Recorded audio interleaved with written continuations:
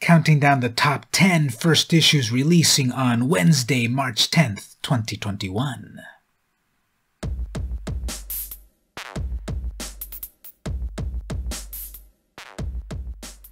Hello and welcome to the weekly VM Campos Comic Book Club. I'm your host, VM Campos. This is the series where I count down the top 10 issues that are releasing this week on New Comic Book Day. This list comes from previewsworld.com, so let's check it out. First up at number 10, I've got Batman Urban Legends number 1 from DC Comics. This is a brand new anthology series featuring a variety of Batman characters, as we can see here from the cover, with stories featuring Red Hood, Grifter, Harley Quinn, and Poison Ivy, and the Outsiders. So it's various writers, various artists. I notice Mirka Andolfo is one of the creators in this. Chip Zdarsky is also there, so pretty cool. There's a variety of variant covers. I like this. Uh, I like the, the regular variant cover here. These cool purple toads, Batman flying at you, really cool as always. A bunch of bats, very cool.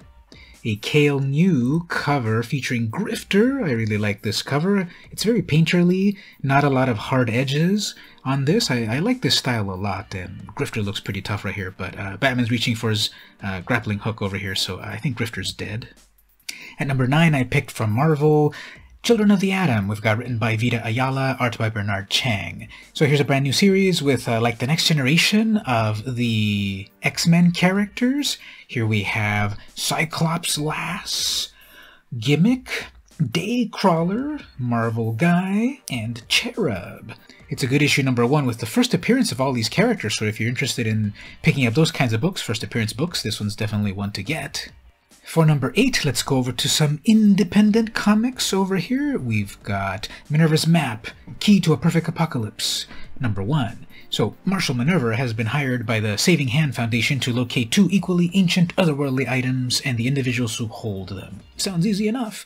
So I like checking out these independent comics rather than the usual superhero stuff. Obviously, that's a great part of the comic book collecting and reading uh, industry, but check out some of these indies sometimes because you might find a brand new story that you weren't expecting. At number seven, here's another independent title. Here we have Nottingham, one of five from Mad Cave Studios, written by David Hazan and art by Shane Connery, Volk, and Luca Romano. So this is a twisted medieval noir story where the Sheriff of Nottingham hunts down a serial killer with a penchant for tax collectors. Now there is a little bit of preview art here. Spoiler alert, cover your eyes, it is a little bit violent, you've been warned. And that tax collector is totally getting cut up right there, so ooh, moving on. They've got the horses. Even the horses got all shot up with arrows. So yeah, it's a medieval story, and it's uh, pretty violent, and it's a twisted take on the on uh, Robin Hood uh, mythology. Uh, here we have Nottingham, number one from Mad Cave Studios. At number six, I picked Images Karmen, number one. So this is a brand new book uh, written by Guillem March, art by the same Spanish writer and artist. Guillem March is best known for his ongoing extensive work with DC Comics. Here we have a five-part series. Is pretty interesting because uh, it's basically a guardian angel helps a suicidal girl to see the good parts in life. The interior art is really good. I like this style. It feels like very European, very cool panel layout, very mannered style of characters. Look at that granny right there. So we've got the regular cover by March, and we've also got a Milo Manara variant cover now. Now, if you know a little bit about Milo Manara, you know that he loves the ladies, so cover your eyes if uh, you don't want to see any of this, but here's the Milo Manara variant cover.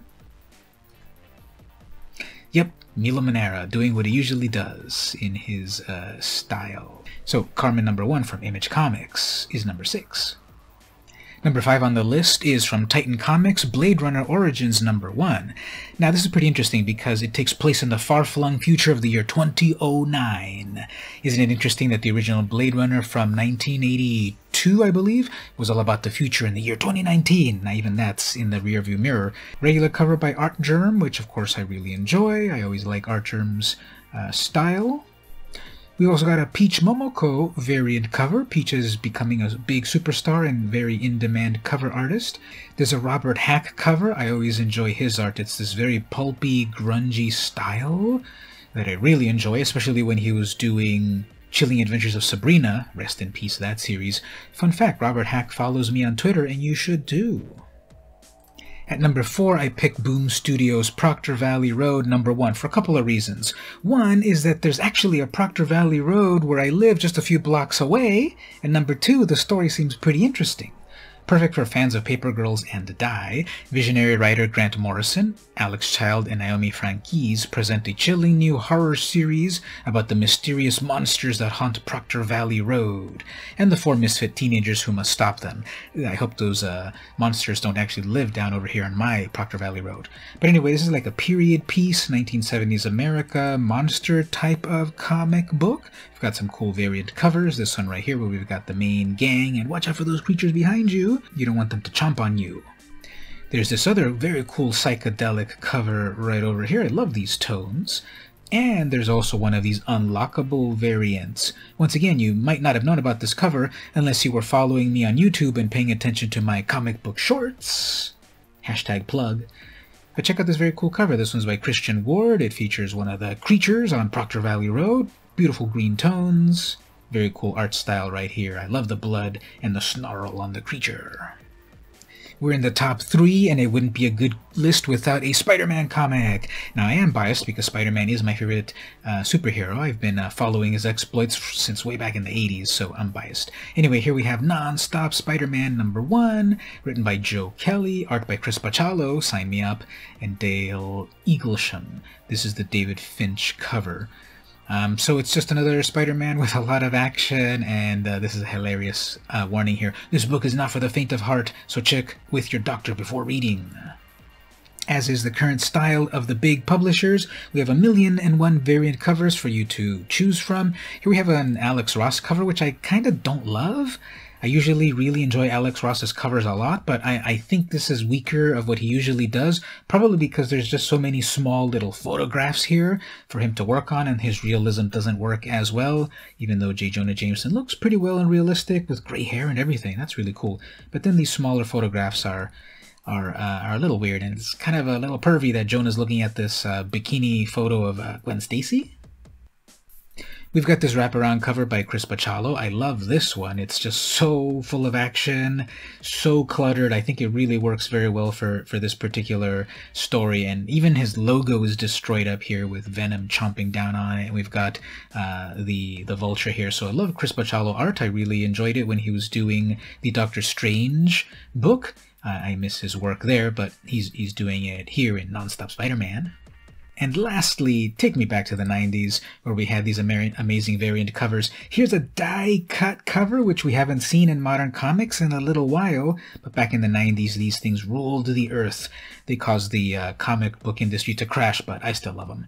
So you have this beautiful blue solid color with die cut to see through the spider shape. Inside we've got Spider-Man. When you pull open the cover, then we see the inside Chris Bachalo style right over here. So uh, very cool. This is the one that I'm getting for my collection. And number two, we've got the 30th anniversary of Deadpool. If you're into Deadpool, you've got to check out his, his birthday issue right here. Various writers and various artists uh, work on this book. It's a variety of little short stories about Deadpool, we have the main cover by Ed McGuinness. Uh, we've also got some other variant covers. We've got the Mike Hawthorne cover, uh, pretty fun, kind of cartoony cover, a little too cartoony. I'm not used to uh, Wolverine smiling like that. I'll take Captain America smiling, sure, uh, but not Wolverine. And uh, Spider-Man looks weird with a mask on top of a mask, but okay. The one to get, of course, is the Rob Liefeld, co-creator of Deadpool, cover right here. Um, classic um, style, Rob Liefeld style, with all of these characters in the background. How many can you name? Quick, as soon as possible. Sue Storm, The Thing, Wolverine, um, uh, Nightcrawler, uh, Dead Dog, whatever his name is, Lady Deadpool, etc. See if you can name them all yourself.